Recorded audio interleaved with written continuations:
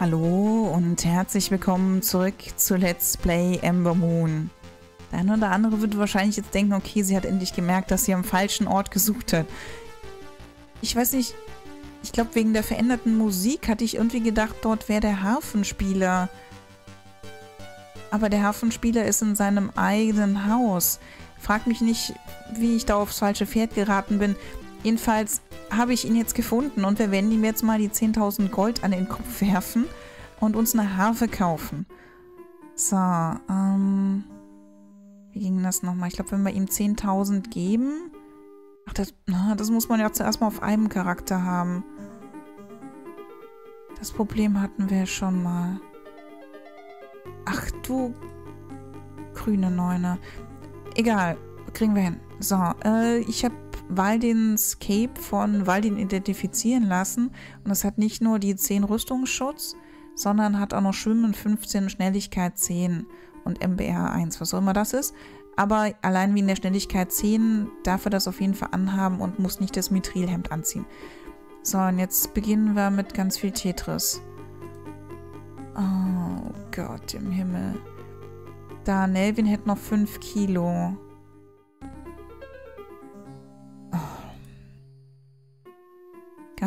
Ganz ruhig. Wir gehen dann doch nochmal aus dem Hafnerhaus raus. Wenn ich den Ausgang finde.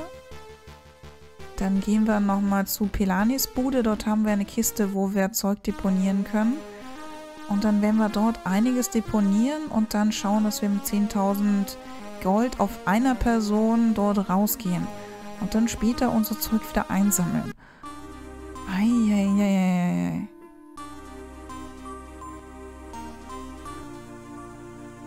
So. Na, Vogel, geh mal aus dem Weg. So, hier war die Truhe. Anschauen. So, wir werden dort jetzt diverse Dinge einlagern. Und zwar... Fangen wir mit Nelvin an.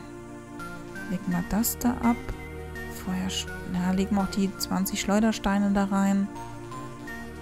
So, ihr trägt aktuell 365 Gold.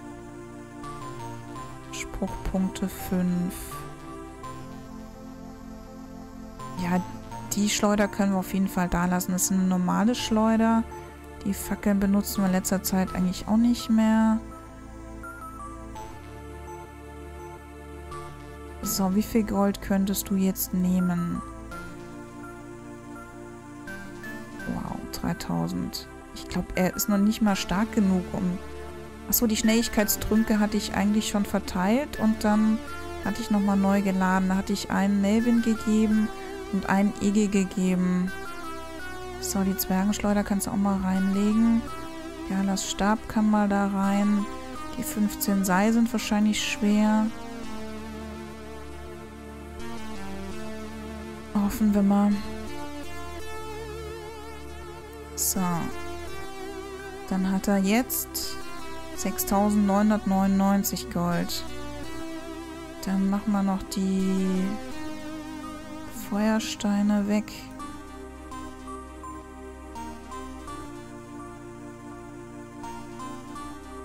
Und die fünf Spruchpunkte weg.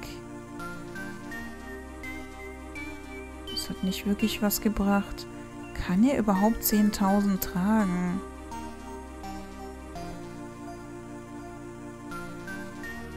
Den mal komplett leer. Also die Spruchrolle sollte nicht das Problem sein.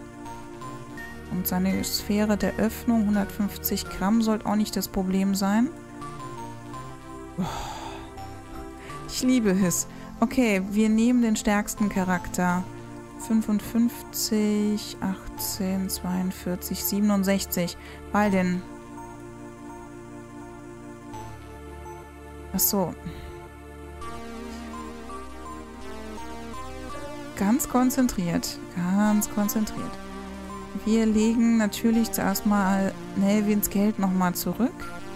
Ich habe nicht dran gedacht, sonst hätte ich das vor der Folge schon vorbereitet. Das wäre ja bei dieser Art von Einkäufen zuerst mal das Inventar leer haben müssen. So, jetzt gib mal alles an Nelvin. Ich glaube, wir haben viel zu viel Seil dabei. Ich glaube, die 27 Identifikationsschriftrollen können wir eh, glaube ich, mal da lassen. Denn mir war es ja nicht gelungen, die zu verwenden. Kann auch an mir gelegen haben.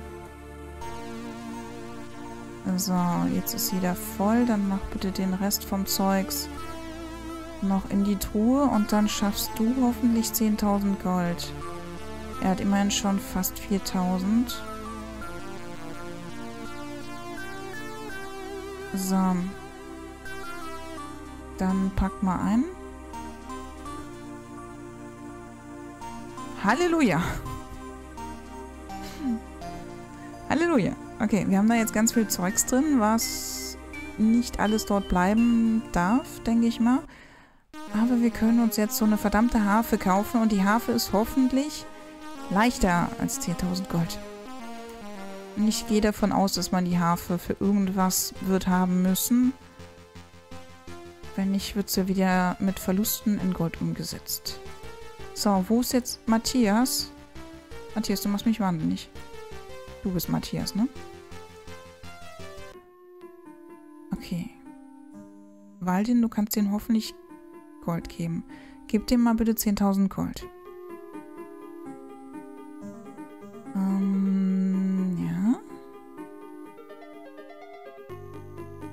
So hatten wir schon mal irgendwas gekauft. Ah, genau diesen, unseren Feindradar, den hatten wir auf die Art und Weise mal von der Dame in Spannenberg gekauft. Da war es ja auch ein Drama. So, hier habt ihr eins der edlen Instrumente, benutzt es auf euren Reisen und es wird euch nie an erquickender Musik fehlen. Ja, hoffentlich kann das Ding mehr als nur Musik. So, das hätten wir geregelt. Ein Träumchen. So. Äh, der Ausgang war da. So, weil als nächstes, wenn wir jetzt nochmal so grob unser Zeug eingesammelt haben, würde ich gern mal Craven besuchen gehen. Unseren alten Paladin aus Emberstar. Ich bin mal gespannt, ob er noch mit mir reden möchte, weil ich in Emberstar so viel immer mit ihm geschimpft habe. Der Arme. So. Wir nehmen so ein Hörnchen mit. Wir nehmen das Zwergenschleuder mit. Das Mithrilhemd. Die Spruchpunkte. Die Pfeile auf jeden Fall. Einen Bogen zu den Pfeilen wäre vielleicht nicht schlecht. Galas Stab sollten wir auch nicht verkommen lassen. Von den Feuersteindingern nehmen wir auch mal drei Stück mit. Die Pfeile kommen noch mit. So, Horn haben wir eins eingepackt. Die Allheilungsfiolen nehmen wir mit. Die Triche haben wir Selena für. Wir nehmen noch ein paar Seile mit. Weil wir auch noch nicht wissen, was das soll. Hm, ja, wir haben immer noch so eine Laterne oder irgendwas. Gold. So. Wir sind gerüstet für den Flug zu Graben. Vor allen Dingen müssen wir jetzt zuerst mal unseren Adler testen. Das kommt jetzt mal zuerst. Und mit dem Adler können wir dann auch mal über Felsen fliegen. So, wer trägt die Adlerpfeife? Den Schlangenhelm können wir auch mal noch irgendwo loswerden. Der war ja verflucht. Oh, wir haben immer noch Kampfäxte. Äh, könnten wir hier noch was verkaufen? Bevor ich die jetzt ewig mit mir rumtrage. Hier gab es einen Waffenhändler. Der hoffentlich Kampfäxte kauft. Machen wir mal Gegenstand zu Gold. Und hauen wir noch die beiden Kampfäxte weg. So, wir sind reich ohne Ende. Und haben da. Er hat die Flöte. Sehr schön. Dann nochmal raus hier. Sorry für das Chaos. Ich habe das mit dem Geld, dass das auf einer Person sein muss, verdrängt. Aus Gründen. So, Flöte.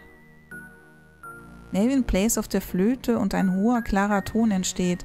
Nach kurzer Zeit erscheint ein majestätischer Riesenadler und fliegt auf euch zu. Ha, wir haben wieder einen Adler. Sehr schön. So, kurz mal Karte in den Vordergrund nehmen. Ja, Godsbane ist ziemlich direkt nördlich von uns. So, Fenster hat wieder Fokus. Dann, äh, über Gebäude kommen wir auch noch nicht drüber. Äh, Spiel, an was überlegst du gerade? Spiel? Nö. Nein. Okay. Gib mir drei Sekunden. Ich mache alles wieder heile. So. Ähm, das Spiel hat uns ja verlassen. Warum, kann ich euch nicht sagen. Ist zum Glück seitdem nicht mehr passiert. Ich habe Dinge getan. Ich habe unser Vermögen nochmal rumgeschiftet. Das meiste Gold liegt jetzt in Opas Keller. Wir haben in einer Kiste mehr als 37.000 Gold. Mehr passt da auch nicht rein. Und ich habe dort nochmal Gegenstände abgelegt, unseren verfluchten Helm und solche Dinge, die wir garantiert nicht brauchen werden. Ich habe mir noch neue Sprüche beigebracht. Und zwar habe ich im Turm der Alchemisten noch den magischen Angriff gefunden. Das ist die ja, Version 2 von der magischen Waffe. Die sollte dann auch schon noch mal länger halten. Für magisches Schild habe ich jetzt noch nichts Besseres irgendwo gefunden. So, äh, und dann bin ich nochmal zur Feste Godsbane geflogen. Hier ist alles eher ein bisschen unwirklich, sumpfig und ja, in den Bergen drin ist eine Festung. Und dort soll ja unser guter Kamerad Craven schlafen. Dann schauen wir mal, ob wir das Dornröschen wach machen können. So, die Feste Godsbane. Äh, keine Ahnung, ob es hier Kämpfe gibt. Wir buffen mal. So, ein Schild. Dann den neuen magischen Angriff. Ja, der hält jetzt schon mal länger. Und die magische Sphäre. So, und dann... Achso, und Waldens Karte bitte noch. Zack. So. Da müssen wir nicht so viel selbst suchen. Die Kreuzung da riecht nach Spinner. Ja. Ja.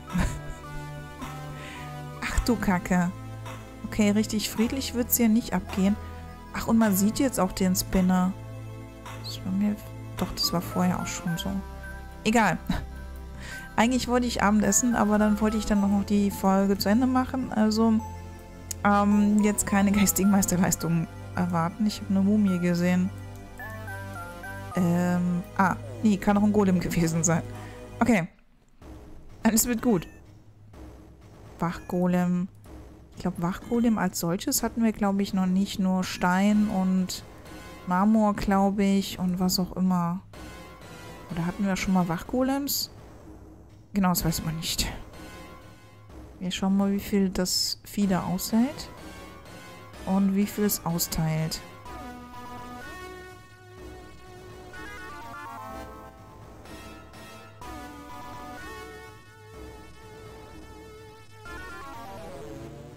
Erdbeben. Nicht so die feine englische Art. Aber kommen wir mit klar. Zumal wir immer mehr reflektieren. Sehr schön. So, dann könnte der da hinten mal rankommen. Und dann könnte ich auch was tun.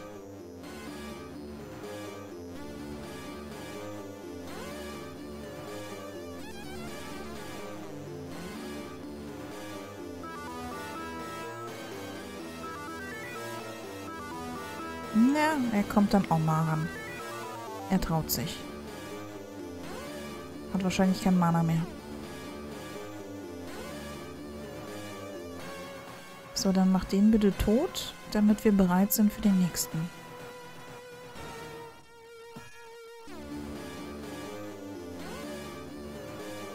Jo, der ist tot. Sehr schön, der nächste präsentiert sich direkt schon. So, dann möchte ich mit Nelvin probieren, was die so zum Thema Eis sagen. Falls es mehr werden sollten in einem Kampf, könnte uns das den Hintern retten, wenn wir das wissen. Ob Eis überhaupt sinnvoll wäre. So, Eisball. Jupp, hat geziebt. Geht. Sehr schön. Dann sollte nämlich auch unser Eisschauer und die ganzen Geschichten dann auch funktionieren. Theoretisch. Was das Spiel in der Praxis dazu meint, werden wir vielleicht noch rausfinden. So, dann noch eine Runde. Ah, Nelvin habe ich nicht eingeteilt, war aber auch nicht wichtig. So, ähm, Nelvin Level 32, Waldin Level 27. Wir sind ganz schön auseinander von den Leveln her. Da warten noch weitere Golems sehnsüchtig auf unsere Aufmerksamkeit. Ich will so erstmal vom Spinner runter. In die Richtung wollen wir garantiert nicht. Oh, dieses Spiel. Ah, Spiel, ich mag dich, aber deine Spinner sind echt kacke. Echt kacke. So, nach Norden wäre eine Option. Wir haben es geschafft. So, Craven, wo schläfst du? Und was hat's mit den ganzen Golems hier auf sich? Ein Hebel. Ziehen. Ja, ist jetzt nach rechts. Erinnert verdammt an Sansris Tempel. Das sind keine schönen Erinnerungen. Immerhin haben wir die Dame schnell ins Jenseits geschickt. Dann schauen wir mal, dass wir hier geradeaus drüber kommen. Ah, rückwärts. So, im Krebsgang rückwärts. Sehr schön. Hat Funst. Wir gehen weiter und der nächste, ja, war so klar. Okay, dann möchte ich mal rückwärts gucken, ob dort auch noch mal was ist. Ja. Da ist eine Kerze.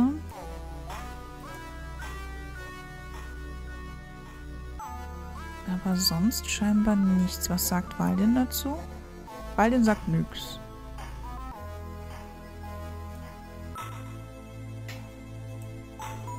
hätte jetzt nicht gedacht, dass es nochmal ein richtiger Dungeon ist. Ich dachte, da kommt jetzt einfach nur so ein, so ein bisschen Event. Wir sehen ähm, Craven wieder, alter Kollege und... Aber dass es noch ein Dungeon wird, war jetzt für mich zumindest überraschend. So, Sackgasse. Jupp.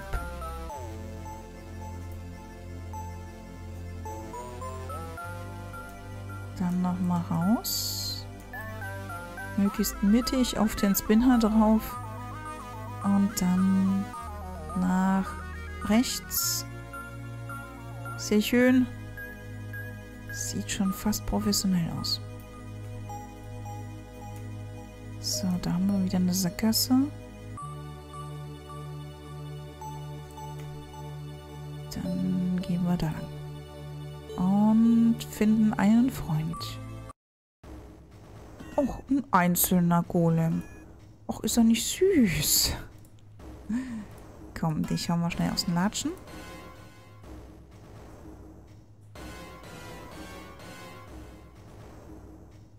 So, der arme Kleine hat einen Anschluss an seine Freunde verloren.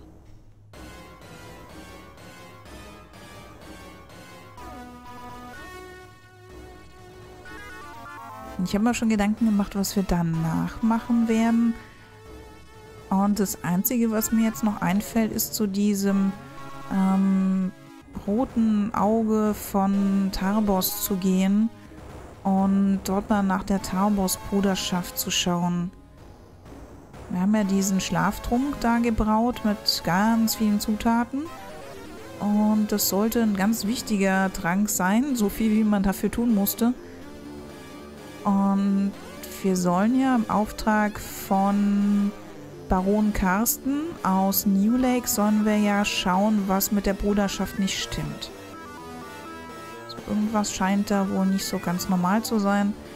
Und da sollen wir ja recherchieren. Und ja, Und irgendwelche Dämonen wird es da wahrscheinlich geben, die wir in Schlaf versetzen müssen. Aber wie das genau funktioniert, weiß ich nicht. So, ich bin Stufe 38. Und wir schauen auf die Karte.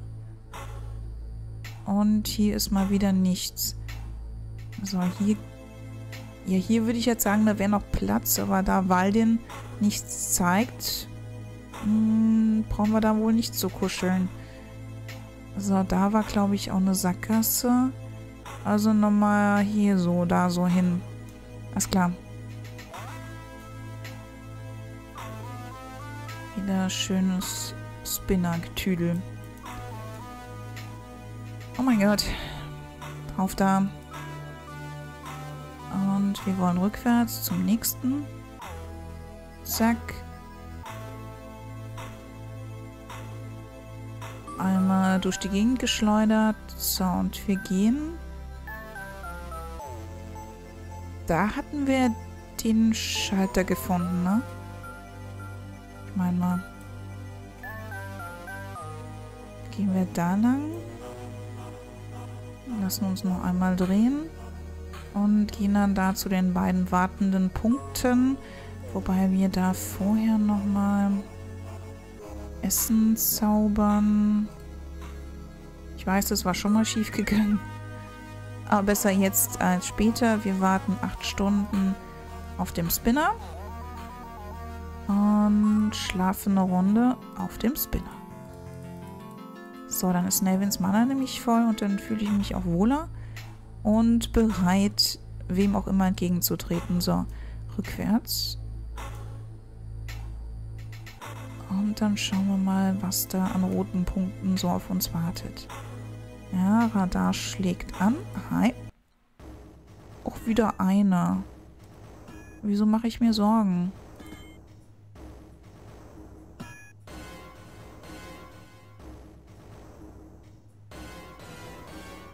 So, töten.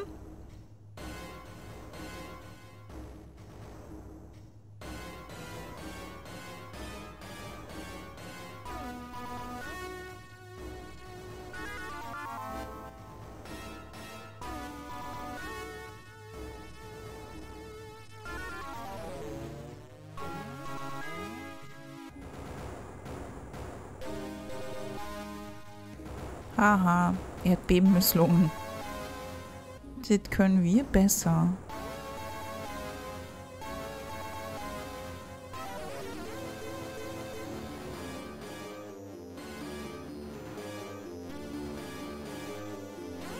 Aber hier kann man eigentlich nicht wirklich früher hin, weil wir sind über Berge geflogen. Ich habe auch keinen anderen Zugang gesehen.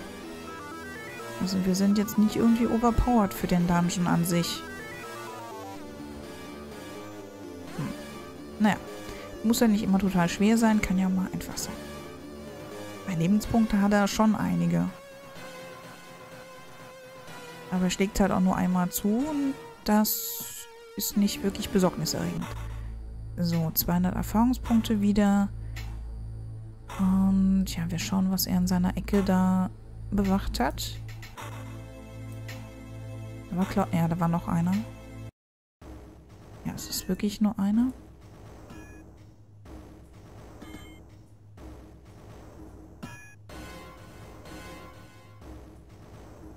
So, umhauen.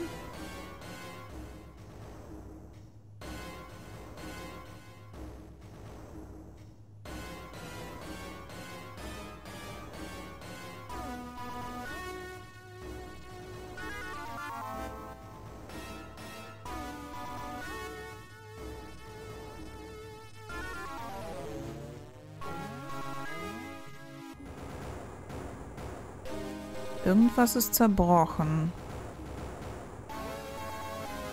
Oder habe ich mich da gerade versehen?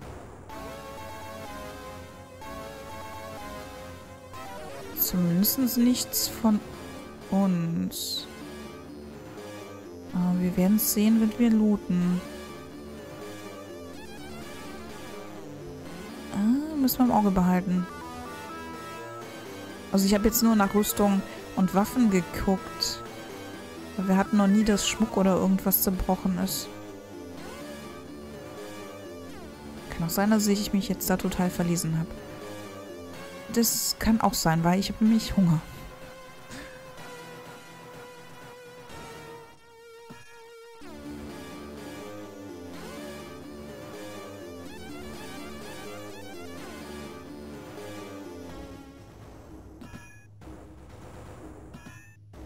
So, komm, Spiel, mach's nicht so spannend. Nö, kein Loot, dann ist auch nichts kaputt gegangen.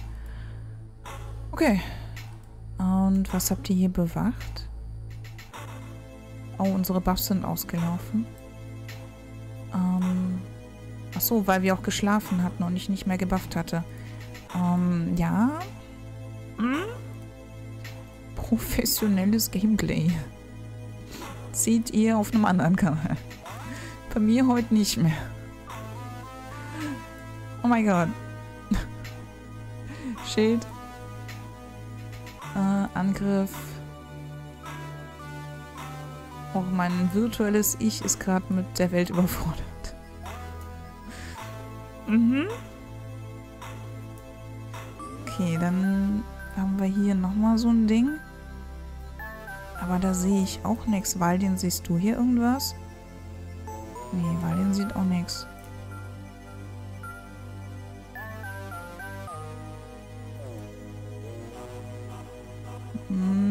Hier oben kann halt noch was sein. Hier sehen wir noch Gegner. Ähm, ja, aber ich sehe ja jetzt auch schon mein Abendessen vor Augen. Also, bis gleich.